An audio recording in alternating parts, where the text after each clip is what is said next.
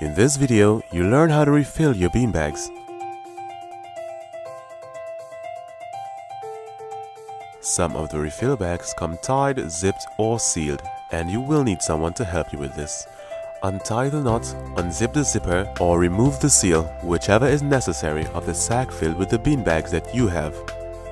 Hold one end of the sack with one hand and the other end with the other hand.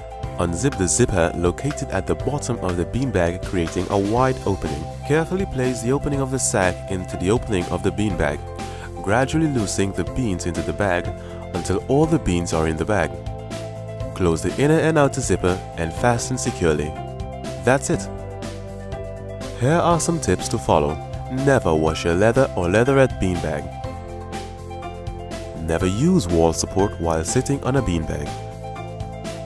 Refill your beanbag every one or two months, depending on your usage of course, with a small quantity of bean refills. Check every now and then to see if your zippers are locked or not. Keep small children away while filling a beanbag. And finally, be sure to check with us at www.restnsleep.in before buying a beanbag. We deliver any and everywhere.